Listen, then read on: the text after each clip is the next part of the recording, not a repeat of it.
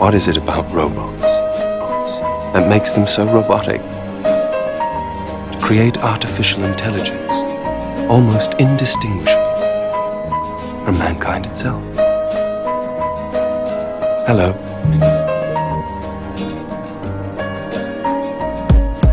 Those of you who know me, you will be aware by now that my ambition is unlimited. You know that I will settle for nothing short of greatness,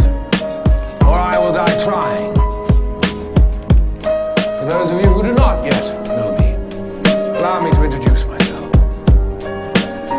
Hello. I'm David.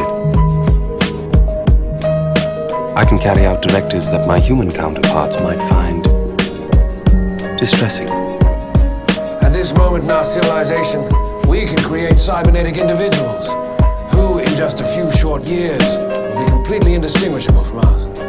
I think I can do almost anything that could possibly be asked of me. Unnecessary violence, war. Fusion and fission and M theory.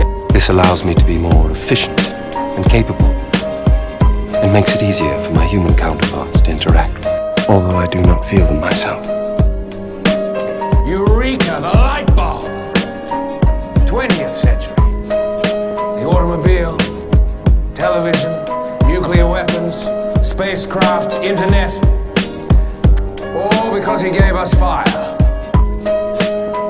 First true piece of technology. Fire. The fire that danced at the end of that match was a gift from the Titan Prometheus, which leads to an obvious conclusion.